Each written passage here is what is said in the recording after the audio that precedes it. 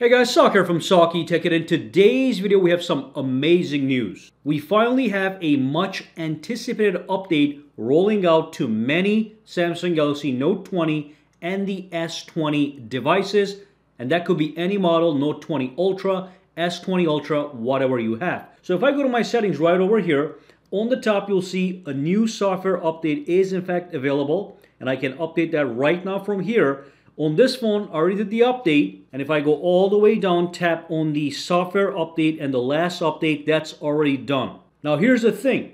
If you already have One UI 3.0 beta running on these phones, as I do, you are to see this update and it's going to be a relatively small update. But this is in fact the official One UI 3.0 update. If you did not have One UI 3.0 beta, but if you already had One UI 2.5 or earlier, then you're going to get a much larger update that is going to be the official One UI 3.0 update, which is going to look just like this one right over here. A lot of people have been messaging me and this is what they're getting. So the One UI 3.0 is officially here for many of these phones. So let's do the update real quick. I'm to show you a couple cool things and get you all squared up. So I can tap on the update right there, tap on download. That's to start. Now I'll let you know real quick if you guys want to get these wallpapers here that are in the background that I'm sure somebody's to ask me, I'm to drop a link down below. When you click the link, it's to take you to my website. And then all you want to do is you're to scroll down and all the wallpapers are listed. They're numbered. You can simply click the link to download the specific wallpaper that you're looking for. We have some amazing wallpapers. Now let me install, I just tapped the wrong button. Let me install this right now.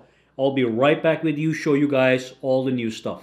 All right, so the phone has in fact been updated. We It says right here, your phone has been updated. So basically, when I had the beta version, when I went to my members application right over here, okay, when I went to members application, it took me straight to a, screen that said I was a member of One UI 3.0 beta program.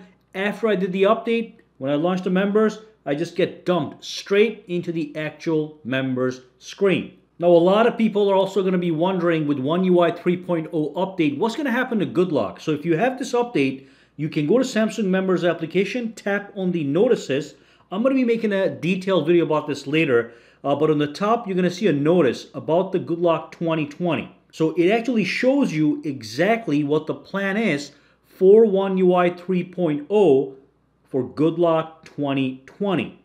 And you can read this through and see all the details because I know a lot of you guys are in fact using One UI 3.0 and don't worry, you're not going to lose access. In the beginning, a couple of modules are going to be uh, disconnected. So if you go to GoodLock, you might see it says unplugged under some applications.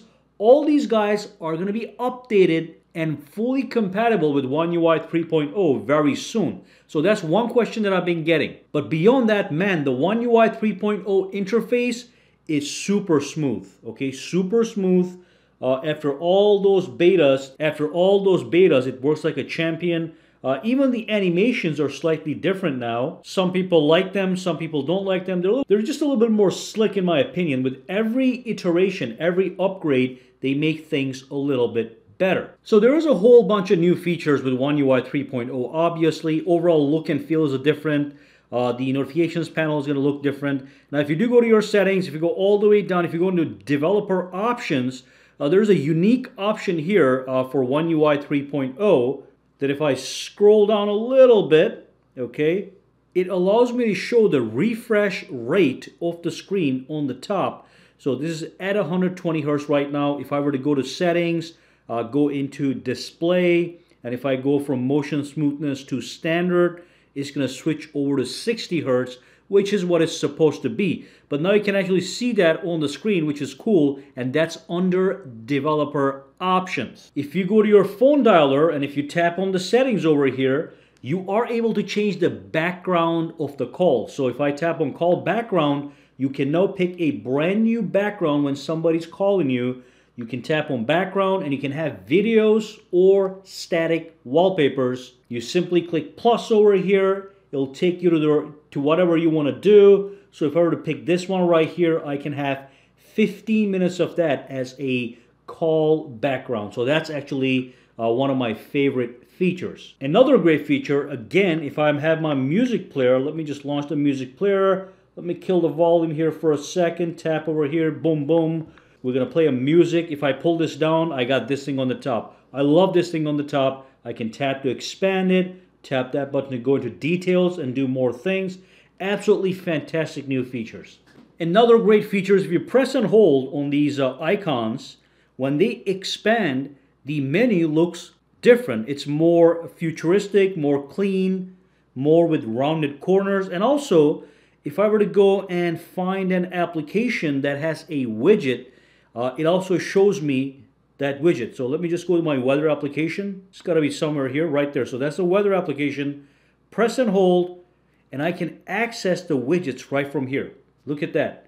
So I can add them right to the home, home screen. All I have to do is press and hold the application that supports the widgets, tap on widgets, boom, fantastic. There are some modifications uh, to the overall look and feel. Now, if you go to advanced features, okay, there's gonna be a lot of things here different. You have the link to Windows here. You got Samsung DeX here. That's all by itself. It has its own little screen. If you tap it, you're going to see this. If you enable it, you're going to see the uh, standard interface. So advanced features are going to look a little bit different. And then you also have this. This is my most favorite thing here. Finally, we have a dedicated Android Auto menu under advanced features. When I click on this one, you get this brand new Android Auto menu. You can customize your launcher from here. So if I tap on this one, you can enable or disable applications right from here that end up being projected to your Android Auto. If I go down, I also have this option. If you have a brand new car, a 2021 car that supports wireless Android Auto, make sure you enable this. You don't even need cables anymore, okay? So that's fantastic that we have that in there. Couple more modifications here, but not a big deal. Big modifications over here, battery and device care. You can now that tap this button, get a lot of information under this care report, okay? And if you go to battery, things have changed a little bit. Things look a little bit different. I have some detailed videos on these, so you can go search for those as well. But all in all, I think it's a good change. There's a couple things that are missing. Now, people have told me when they go to display, when they go into the full screen applications, they don't have access to the button on the top here that allows you to actually hide this cutout. So that, that was a built-in option you could access from here. On the top corner, there was a dot. You can tap on it and, and hide the whole cutout.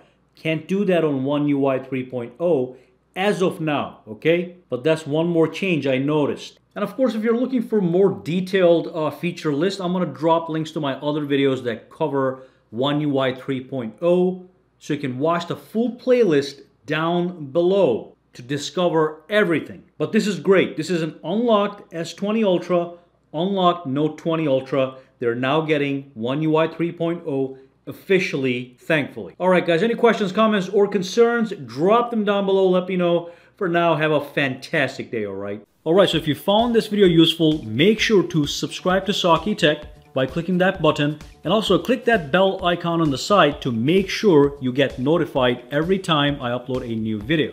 And if you do use Twitter, Instagram, or Facebook, you can follow me at Sakitech Online to get the latest updates as well. Alright, have a fantastic day.